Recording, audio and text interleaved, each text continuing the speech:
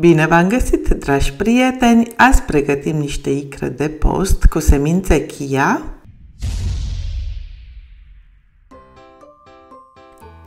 Ca de obicei, ingredientele necesare le găsiți la descrierea videoului și în rețeta scrisă pe blog, rețeta cărui link îl găsiți tot la descriere.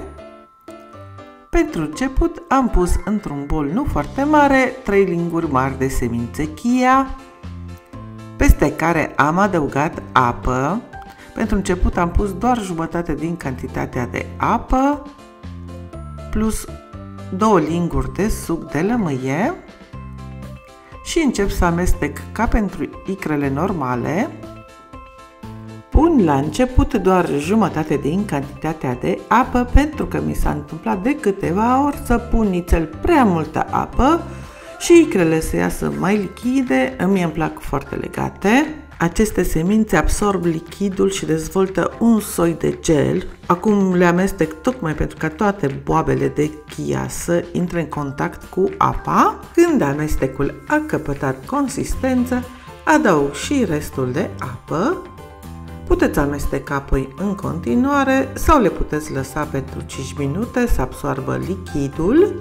Între timp, am curățat, spălat și tăiat cât mai mărunt o ceapă mică. Eu pentru aceste icre am pus doar jumătate din cantitatea de ceapă, dar găsiți voi ceva la care să folosiți restul.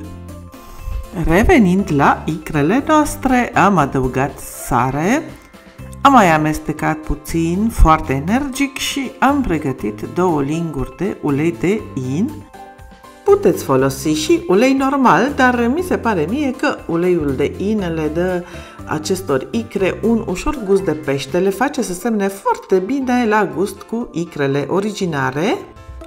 Observați că amestecul de semințe de chia a început să capete o consistență groasă legată. La acest moment adaug și uleiul, turnându-l în fir subțire și amestecând energic. La început turnăm cantități foarte mici de ulei ca la maioneză, dar pe măsură ce acesta este încorporat, adăugăm și restul în timp ce amestecăm energic. Observați că icrele noastre au căpătat o textură legată și densă. Este momentul să adăugăm și ceapa. După gust mai putem pune sare sau zeamă de lămâie și icrele noastre sunt gata se păstrează foarte bine la frigider. De fapt, eu chiar am impresia că devin la gust mai bune după o zi de la preparare, dar pentru păstrare va trebui să le țineți la rece și să acoperiți suprafața lor cu o folie alimentară transparentă pentru a preveni uscarea la suprafață. Observați ce textură legată au căpătat icrele noastre. Nouă ni se par foarte gustoase. Sper că v-am făcut curioși și o să încercați și voi rețeta. Eu vă mulțumesc că ați stat cu mine din nou în bucătărie să gătim împreună.